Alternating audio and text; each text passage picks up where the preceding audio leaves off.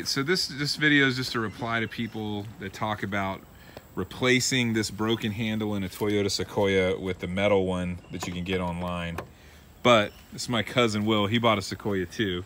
Tell him what happened, even though there was a metal handle there. All right, we got the uh, What about metal handle installed, Yeah. so we wouldn't have the issue anymore. But then where the ball is, Right. attaches in, is plastic. So it eventually just broke there. So now I have to Right. replace the whole cable. so it just went back to another thing that was plastic, Right. Right? Because people, because with mine, I just cut this open right here and pulled it out.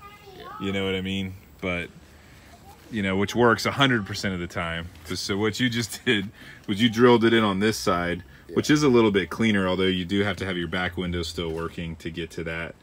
But you're gonna go ahead and order a cable too, Yeah. so that it works. I have to. And then that cable has a metal piece on it here. Probably not. Probably not. right. So it'll probably break again. You know what I mean? It's just crazy. So that's just why I go back to my fix where I just cut into this part right here. You know, you saw how I did mine. Right.